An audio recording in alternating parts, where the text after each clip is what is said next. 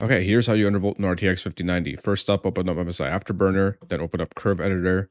Come to the Curve Editor, find 900 on the bottom row, trace it up to its point, hold Shift, left click, drag up until you get to 2730. All right, now come to the right of the point, hold Shift, left click, drag to the right, okay, and then let go.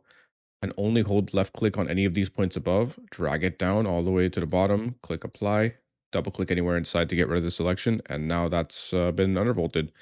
Now, the reason why I chose this value is because it's a pretty conservative value, but you can go ahead and add up to 2800 or even above at 900 millivolts. And uh, you could tweak both of these values in increments of plus or minus 10 to 25 to find your sweet spot.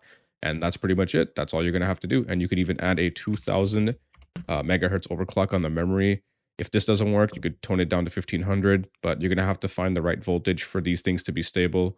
And if you want a full tutorial on this, there is a video on my channel that can help you out if you're new to all of this stuff. Um, we go through MS Afterburner from scratch, and there are benchmarks as well. So hopefully this works for you.